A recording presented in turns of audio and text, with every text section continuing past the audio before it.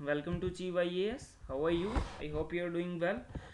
So friends, as you know that on our channel we are covering the syllabus of UPSC Civil Services and for that purpose we have started MCQ series of different topics like ancient India, medieval India, modern India, geography, polity, extra. So what we are doing in this series we daily cover 5 question uh, of each topic and we will continue to cover we will continue to do so till 31st may. So why the date chosen has been 31st may? Because on 2nd june is your prelims of cse 2019 so we will end this series only one day before your prelims exam. So for example we are on the lecture number 16 already we have covered 15 lectures. So we cover daily five questions. So in this way today also we will cover five questions of modern india as we have covered the five questions of ancient india and medieval india and geography and of environment. So in this manner daily you will be covering approximately you will you will cover daily 30 questions because we have six series in which we cover five five questions. So let's start our discussion the, of uh, modern india. So friends before starting discussion uh, you can make a rough idea appro that approximately nearly thousand questions of each topic will be covered till your prelims exam. So this is a uh, this is a much needed practice that that you must do before entering your exam hall because it this will make you confident. Because you are here not just covering thousand questions you are covering 4000 concepts. How the it, it becomes 4000 because in upsc the this all the, thing is not just seeing the question and its answer. And then it is not that your purpose will be served in this way. This is totally method, uh, uh, uh, we can say a blunder so in, in this this this this thing uh, can can serve your purpose in other exams like ssc in which you may might crime 100 100000 questions and their answers. In upsc you must have conceptual clarity as well as you must know the facts. So in that case uh, you must know uh, the answer of the answer of the um, question and also you must know why the other options are not the answer.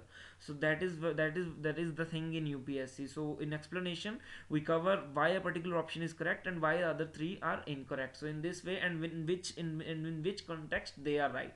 So in this way you cover four concepts with with one question. So this is this is this, this is the thing in upsc that matters. So this is called practice and revision in term and as per the standards of UPSC. So let's start a discussion.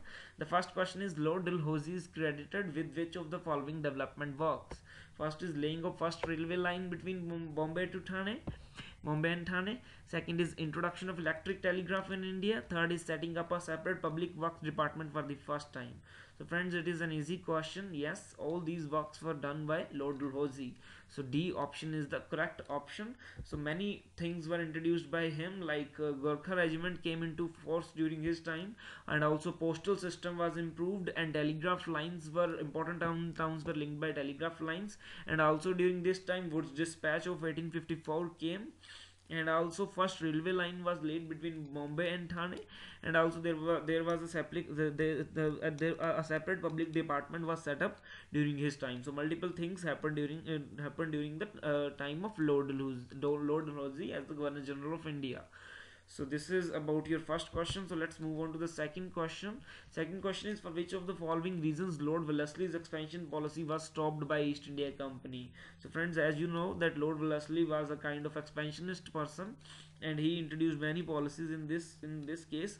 Uh, the the the doctrine of uh, subsidiary alliance was also the uh, brain brain brainchild of lord wellesley so he was he was doing expansion but his expansion policies were stopped by east india company. So here we have been asked the reasons. First is expansion through war was costly and was reducing the profits of the company. Second is napoleon was a major threat in europe at that time. So friends let me tell you that both the statements are correct that first thing is correct because war war was uh, war was a uh, was a kind of costly adventure. So that's why uh, it this was it was discontinued and more effort was put on the diplomacy by um, that is uh, kind of expanding the company's territories through diplomatic measures. The second thing is second thing is also correct because at that time napoleon was on rise and his threat was very high in europe and uh, and british was facing the financial difficulties so that's why second statement is also correct. So the correct option is both 1 and 2 so the solution is c and the explanation is provided in explanation. And what, what is this explanation pdf i will provide you detail later on in the coming presentation. So let's move on to the third question. The consider the following pairs. The here we have been given European center and their influence in India. So we have to check whether they are correctly matched or not. First is French uh, that it is matched with Chandra Chander Nagar. Second is Portuguese it is matched with Goa. Then Danish Pulicat, Dutch Serampore. So friends, let me tell you that only first and second is correct. Yes, French had influence in Chander Nagar and in regions like uh, like uh, uh, Pondicherry, Mahe, Karaikal, Yanam, and all, all these regions had had the influence of French. And in case of Goa, Portuguese had the influence because they were great naval power. Besides uh, besides Goa, they they were also having the control over. Uh, uh, Daman and Diu and also friends let me tell you third and fourth is incorrect because Danish had control Danish controlled the Serampore region and not the Dutch so third and fourth both are incorrectly matched so the correct option is 1 and 2 only so the correct option is A so solution is A and the explanation is in explanation PDF. So let's move on to the fourth question. Fourth question is with reference to E.V. Ramaswamy Naicker, ideas on society and religion, consider the following statements. First is he advocated the destruction of capitalism. Second is he supported women rights and widow remarriage but opposed divorce and birth control. Second is he abandoned Hindu mythology and rejected rules of caste purity. So friends, uh, we have to consider these statements regarding E.V. Ramaswamy Naicker, who, who, who was a prominent figure figure in the modern Indian history. Uh, he, he, is a prominent figure. So friends, uh, he is also known as Periyar so he started basically self-respect movement about which you might have heard. So friends yes first thing is correct that uh, he advocated the destruction of capitalism. He made a visit to russia and after his russian experience he advocated the destruction of capitalism. Second thing is friends correct to certain extent but the second part of it is is is incorrect. So that's why this statement is incorrect. He, he supported the women rights and also widow remarriage and also he supported staunchly the divorce and and the birth control measures because he he he he he, he, he, he put put the reason forward for this that divorce and birth control keeps the keeps the woman happy. The that is if women want the divorce then they must have the agency for that.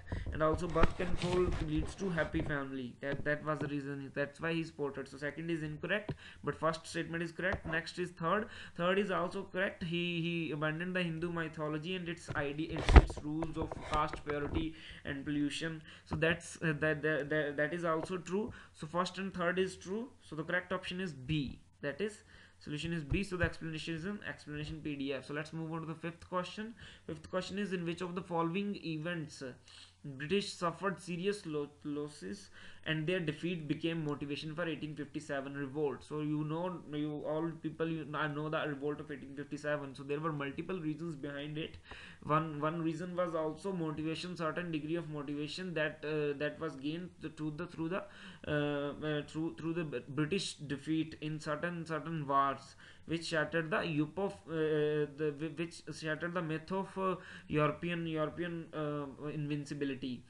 So here, here there the options the statements are American Revolution, first Afghan War, Crimean War, Boer War. So friends, let me tell you that American Revolution cannot be the uh, cannot cannot be the motivation because it had already happened in 1775.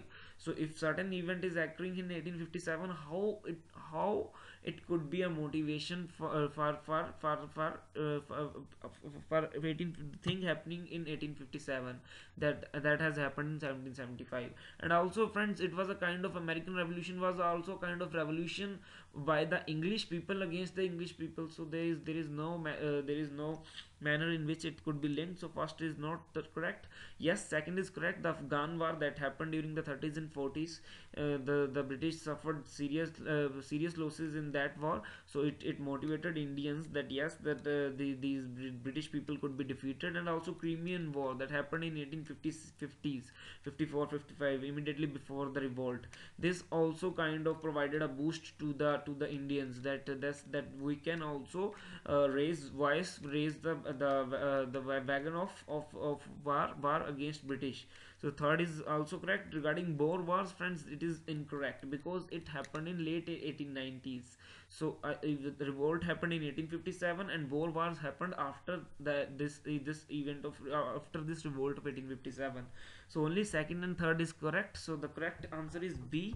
That is second and third only. So solution is b and the detailed explanation about these things is provided in the explanation pdf so now let's come to what is explanation pdf so it is basically the explanation in great detail uh, about the question. So as i have already told you that uh, that uh, merely seeing a question and it and its answer is not uh, not not not uh, does not good is does not serve, serve your purpose. It is not what upsc wants upsc wants conceptual clarity clarity as well as as well as, well as uh, learning of some uh, some facts. So for that purpose you must have uh, explanation of these these pdfs if you want to sail through the UPSC and also friends this is also the best method to revise because at the end of the day you will not be able to see 20 to 20 to 30 minute long videos. And also you will not be able to read bulky books because after after first reading they become boring. At the most you can read them two times. Uh, the NCERTs you can read, read two times and also the standard books. After that they become boring. And also at that time you will have the pressure to revise and you will not be able to read them with curiosity and your speed with will automatically your, speed could reduce.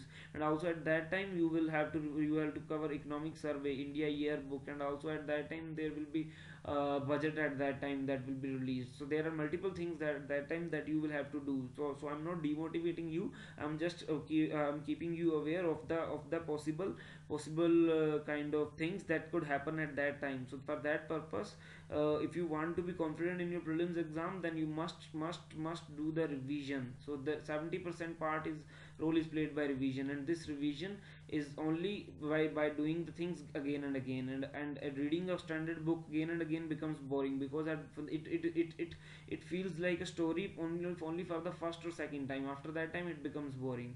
So for that purpose the question answer format is best because it the question answer format is is is is considered best. So why it is considered best? Because questions are based on most important facts that are that are covered by upsc these questions are based on the previous question papers that that upsc upsc uh, has has taken. So and also or the, these questions are based on the experience of, uh, of the experience of the pattern followed by UPSC so these these will help you in revising your basic concepts because with each question you will be covering four concepts. I have told you already that in which way you will be covering.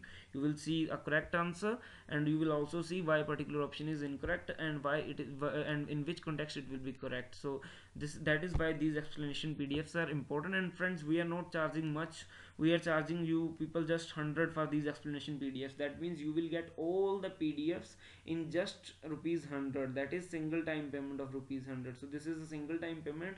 You will not have to pay again and again for each pdf you you pay just for uh, a amount of 100 you will be subscribed to the modern india pdfs so for that you have to do whatsapp to us. You, the number is 8968 426481 so the uh, there are also other series that are that are currently running on our channel like there that is, that is of environment ancient india medieval india modern india geography polity. So there are different costs of them but that let me tell you that these are a single time payment. There is no there you will not be asked to pay again and again. So total amounts to 950 if you want the complete package then we are offering you a discount of rupees 150 so you can get all these in rupees 800 so if you want to subscribe to them you can whatsapp us at this given number that is 8968426481 so this is all about friends today's lecture of modern india. So let me tell you also that we have a telegram channel uh, the link of which I have I have provided in the description box. So if you want to if you wish to join our telegram channel you can check the description box and can join our channel. And for those students who don't know how to join it let me tell them tell to tell to those students that there is an app called eSandesh that is available on Google Play Store as well as an, uh, on App Store. So it is totally free of cost and it is unofficial app of Telegram. You you can download it. There is no cost of downloading it. And when you will download it, you will see here a search box. And in search box, what you have to do, you have you have to co just copy and paste the link which I have given in the description box. And when you will post it here, you will get to my channel. And in this way, you can join it and can remain uh, tuned with us. So this is all about friends today's video. If you liked it, please like it please share it with your friends. And please comment if you have any suggestion. And please friends do subscribe to our channel. And do not forget to press the bell icon because then only you will get all the notifications of that uh, of, of the of the of the updates that we are doing on the youtube regarding the cse uh, 2019 so thank you friends